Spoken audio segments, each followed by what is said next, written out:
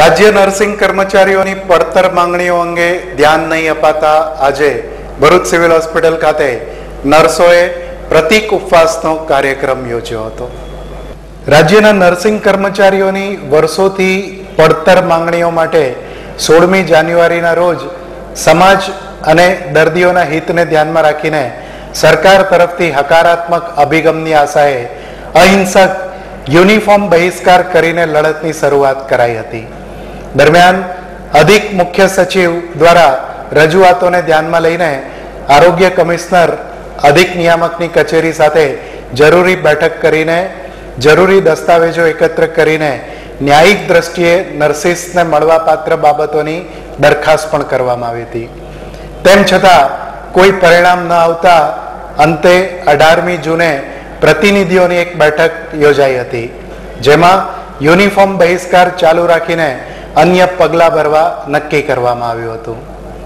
જેના સંદર્ભમાં તારીખ અગિયાર, અઢાર અને પચીસમી જુલાઈએ અઠવાડિયામાં એક દિવસના રોજ રાજ્યની તમામ જિલ્લા અને મેડિકલ કોલેજ સંલગ્ન હોસ્પિટલના નર્સિસ પોતપોતાના હોસ્પિટલના સંકુલમાં મુખ્ય સ્થળે એક દિવસીય પ્રતિક ઉપવાસ કરશે તેવું નક્કી થયું હતું. ઉપરાંત હાથમાં પ્લેકાર્ડ લઈને સૂત્રોચ્ચારના કાર્યક્રમ અપાયા હતા. જેમાં આજે ભરૂચ સિવિલ હોસ્પિટલની સાહીઠ જેટલી નર્સો હડતાલમાં જોડાઈ હતી. પરંતુ કોઈ પણ દર્દીને કોઈ સારવારમાં તકલીફ ન પડે તે માટે ઇમરજન્સી સેવા પણ ચાલુ રાખવામાં આવી હતી. હું Chigal Patel, Bharuch general hospital staff nurse તરીકે ફરજ બજાવું છું. આજે લગભગ સોળ જાન્યુઆરી બે હજાર ઓગણીસથી અમે લોકો યુનિફોર્મ બહિષ્કાર પર છીએ, સ્ટાફ નર્સ, ઓલ ગુજરાત. છતાં સરકારશ્રી તરફથી કંઈ અમને વળતર મળ્યું નથી. સરકારશ્રી પાસે અમારી ખૂબ ફક્ત બે જ ડિમાન્ડ છે. એમાં ડિમાન્ડ ઘણી બધી છે, પણ મેઇન બે જ ડિમાન્ડ છે.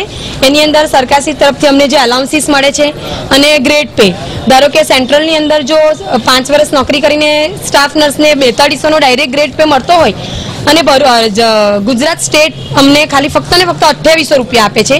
ત્યાં જ ઘણો ડિફરન્સ આવી જાય છે. આ ઉપરાંત એલાઉન્સીસ જેવા કે નર્સિંગ એલાઉન્સ વોશિંગ એલાઉન્સ અને અમારું જે ઇન્ફેક્શન એલાઉન્સ વોટ જે મળીને એલાઉન્સીસ છે, એ સેન્ટ્રલ ગવર્મેન્ટની અંદર નાઇન થાઉઝન્ડ રૂપીસ છે. નવ હજાર. એની સામે રાજ્ય સરકાર ફક્ત ને ફક્ત અમને અગિયારસો રૂપિયા આપે છે. આ તો બહુ ઘણો બધો મોટો ડિફરન્સ છે. જો અમારું ક્વોલિફિકેશન એક હોય સ્ટાફ નર્સની કામગીરી એક હોય યુનિફોર્મ એક હોય, તો સેન્ટ્રલ ગવર્મેન્ટને અને સ્ટેટ ગવર્મેન્ટની અંદર આટલો બધો પગાર ધોરણમાં ડિફરન્સ કેમ આવે છે?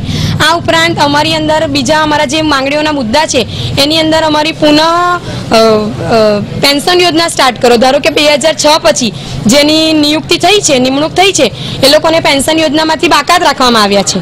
બરાબર? તો દરેક જગ્યાએ પેન્શન યોજના છે, તો ગુજરાતમાં કેમ નહીં? બીજી વસ્તુ કે અમારા જે નર્સિંગ સ્ટુડન્ટ્સ છે, એમને સ્ટાઇપન્ડનો વધારો નથી કરતા. મેડિકલ સ્ટુડન્ટ્સની અંદર વારંવાર વધારો થતો રહે છે. મેડિકલ સ્ટુડન્ટ્સ જો કામગીરી કરતા હોય, તો નર્સિંગ સ્ટુડન્ટ પણ એટલી જ કામગીરી કરે છે. નર્સિસ એ તો બેઝ કહેવાય હોસ્પિટલનો તો નર્સિંગ સ્ટુડન્ટના સ્ટાઇપન્ડમાં વધારો કેમ નથી થતો?